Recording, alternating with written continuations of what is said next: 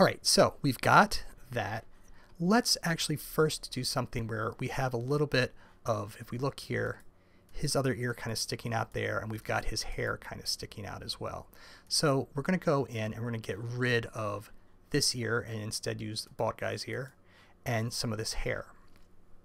Now we could go in and use the eraser like we were doing before, but just in case we want that hair back at any point, we're not exactly sure what we would need it for, or maybe we want to bring the ear back, or for whatever reason we decide we don't want the person to be bald, we want to be able to undo it. So we do have our original down here, but an even easier way of making sure that we get rid of things without actually deleting them is masking them. So I'm going to select this guy's face, and actually, let's make sure we name this bald head. And I'm going to click on this little item here, which will add a mask. And once again, remember with masks, you get this like little white area here.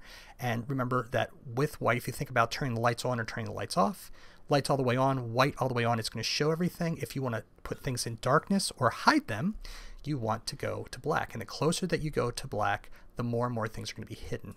Black is going to make it completely opaque. And we're going to use our brush tool, B, to do that. All right, same thing here. Just going to increase the size of this. And we're going to also make the hardness of this a little bit softer just to kind of help blend things together. And now, as I go across this, you can see it kind of gets rid of the air. And actually, I think what I would rather do, have this actually closer to a, a lot harder here and shrink this down a little bit because don't want to have that kind of ghosting effect along his um, cheek there. Okay.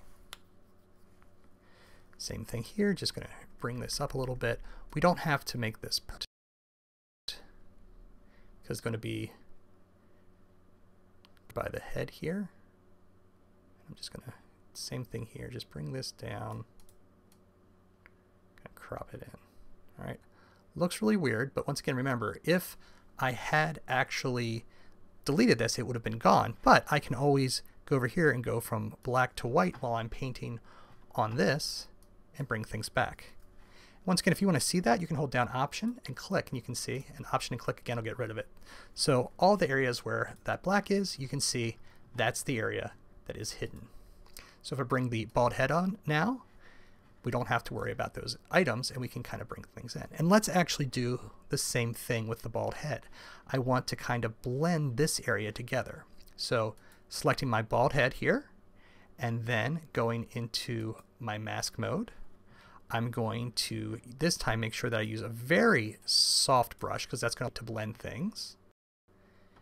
And then I'm just going to go in and paint in with black the area. So can kind of bring some of that in there.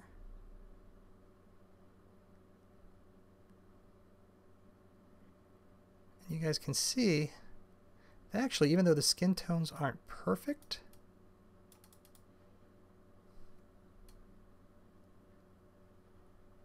they're close enough lighting wise that they actually work pretty well together.